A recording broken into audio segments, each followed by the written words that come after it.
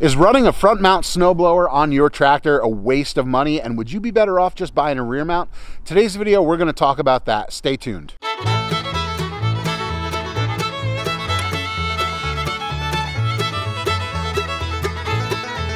Good morning, everybody. Welcome back to the Mindful Homestead on a beautiful, warm, what feels like spring day. I would guess like 37. It, it feels like it might be pushing even 40 degrees. Ducks are out, chickens are out, everyone is enjoying this beautiful weather. And I'm gonna go check those maple taps that we set out the other day. With these warm temps, sap should be running.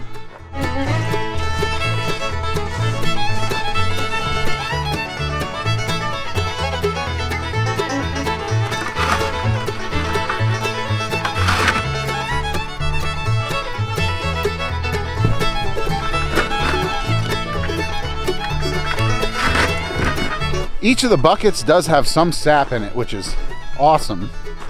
Means we're running here. I need to get working on our new maple syrup evaporator that we're making out of a barrel. But before I do that, I wanted to talk a little bit about front mount snowblowers versus rear mount snowblowers. I get a lot of questions on the channel asking why we went with a front mount snowblower for our tractor instead of a rear mount. And there's a lot of positives and negatives to each. And it wasn't necessarily an easy decision, us being new to tractors when we bought our BX. I had some guidance from our sales guy. I talked to a couple people I knew who had front mount blowers versus rear mount blowers.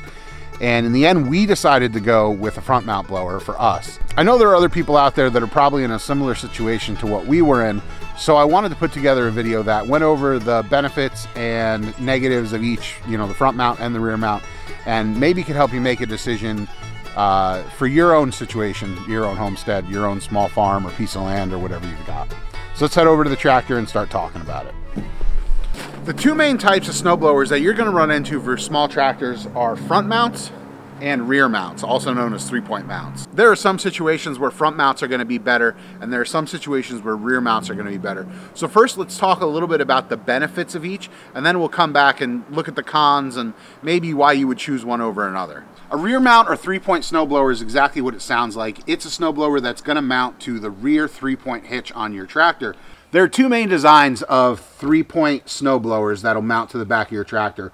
One is going to be your pull type, where the entire apparatus actually sits a little bit further out and you drive the tractor forward and it shoots the snow out to either side and essentially is like a big scoop behind the tractor with the snowblower. The second and most common found version is going to be your standard rear facing snowblower.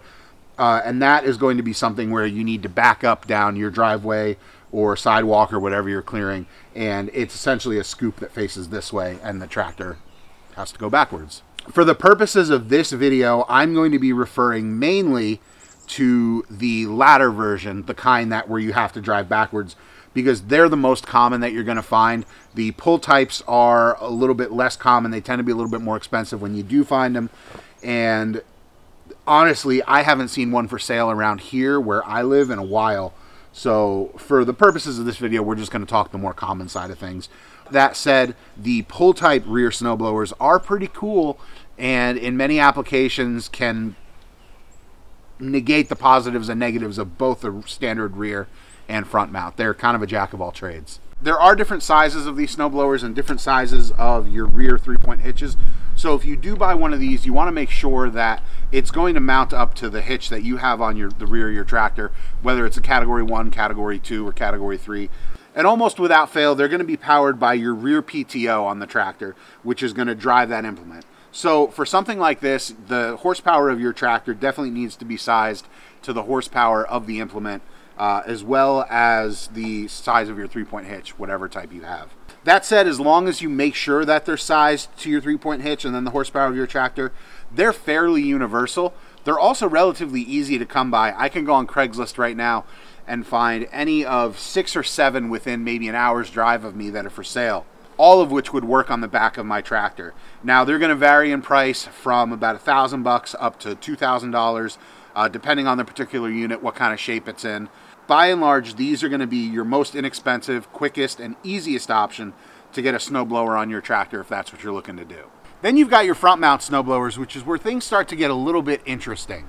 You're gonna have two main variants here. You're gonna have snowblowers that attach with a skid steer quick attach. These snowblowers are designed for skid steers like the name implies, but on larger tractors that have a greater lifting capacity in the front, you can also run these skid steer quick attach snowblowers on those larger tractors if they have a skid steer quick attach on their loader. Now, there are going to be exceptions to the rule, and I'm not sure if any exist, so I'm not going to even go down that path and say there are or aren't. But by and large, all of your skid steer quick attach snowblowers are going to be run hydraulically. So again, in making sure that your tractor has the ability to lift a skid steer quick attach snowblower, you also need to make sure that your tractor has front remotes that are going to have enough hydraulic flow to run that snowblower. A hydraulically driven snowblower is a hydraulic fluid hog, if you will. It needs a lot of flow to keep things going smoothly. So if you're going to look at a skid steer quick attach front snowblower, you want to make sure that your tractor is going to have enough oomph and enough hydraulic flow to push that snowblower and make it work effectively for you. So that's the universal side of front mount snowblowers. On the non-universal side are going to be snowblowers that hook up to a dedicated quick hitch in the front of the tractor. Uh, with our Kubota BX here, we have what Kubota calls their K-Connect quick hitch system, which is a four-point front hitch, and it utilizes some locking pins to lock this thing in. There's a bunch of different implements out there that can go with this K-Connect, from brooms to snow blowers like this, a bunch of different versions, to snow blades like plow blades. These are not going to be universal in that there are many different variants of attaching snowblowers to quick hitches. There are many different quick hitches out there. If you're going to be buying a used front mount snowblower, you need to make sure that there are going to be ways to relatively easily attach it to the front of your tractor.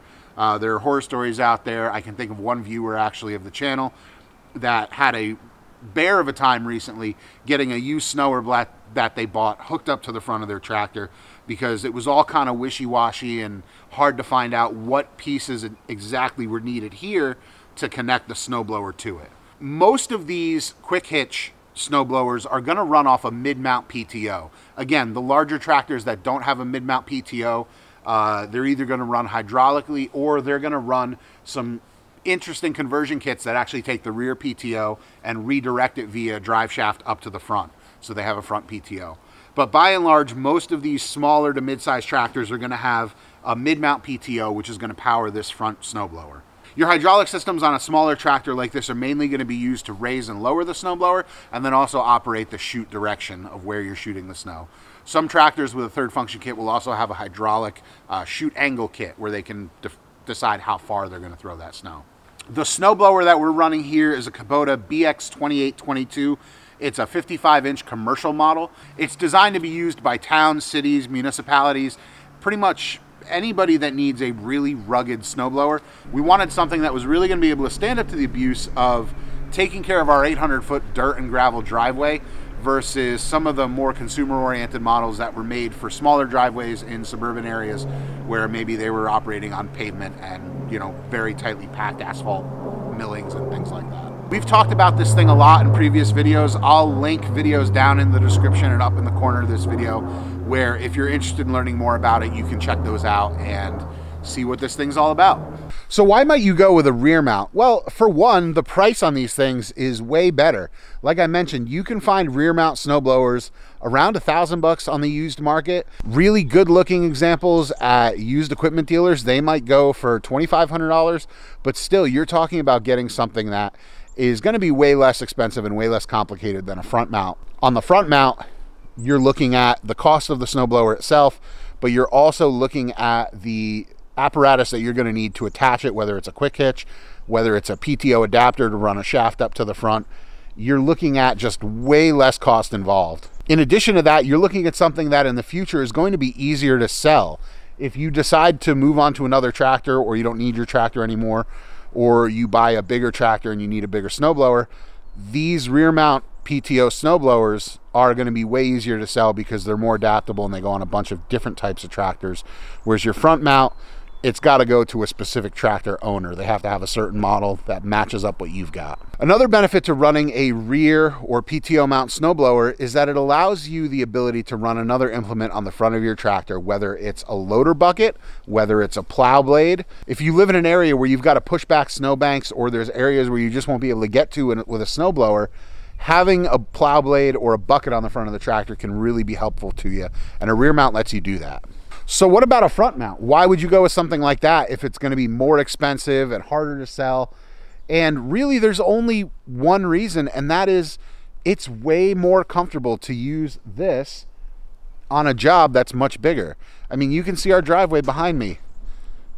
I think you can. It's long, it's not easy to navigate. It's a real pain in the butt to snowblow and having a front mount snowblower like we've got, it makes the job much easier to do. It makes it much more enjoyable. I'm not having to crane around in the seat. Uh, let's go just take a look at how you can sit when you're using these things. All right, so here I am. I'm sitting on my tractor. I'm getting ready to snow blow and do all the things that I need to do for snow removal. If I have a front mount snowblower, this is my seating position. And for all 800 feet of our driveway that is kind of twisty, turny, and, and moves about and meanders, this is the position I'm in. If I need to look left, if I need to look right, I can do that. If I am using a rear mount snowblower, this is the seating position that I now need to assume. As you can see, my spine is twisted. I'm hunched over in the seat. I need to find a way to hit this pedal in reverse and actually, if I'm being completely honest with you right now in this position, I can't hit I can't hit the treadle pedal to go backwards. So really, this is the position I need to be in. I need to be cocked over to the right so I can get my foot on the pedal over here, back up, and navigate things this way. And I'm not trying to be melodramatic, but I am going to say with all honesty that this position is not very comfortable to be even just shooting this video.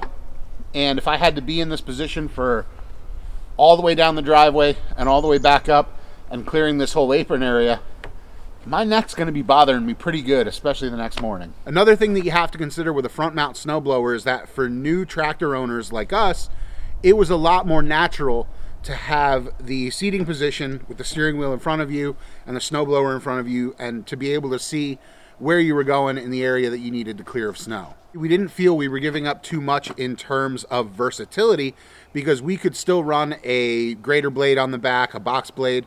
There are other implements out there that you can put on the back of your tractor that will help if you need to do some additional snow clearing beyond what the snowblower can do up front. It also helps having the snowblower up front when you need to get into really tight quarters. If you're going up against a garage door or in between a couple cars, you have everything out in front of you and it's very easy to be seen where if you've got the snowblower in the back, there's going to be areas that you can't see. If you've got a loader on the front of your tractor and you turn the wheel to turn the snowblower, you've now got to worry about that loader swinging out in front of you. It For a newer tractor owner, it's not as user-friendly. So which type of snowblower should you get? Here are my loosely interpreted, not worth anything thoughts on the matter, because really it all comes down to you.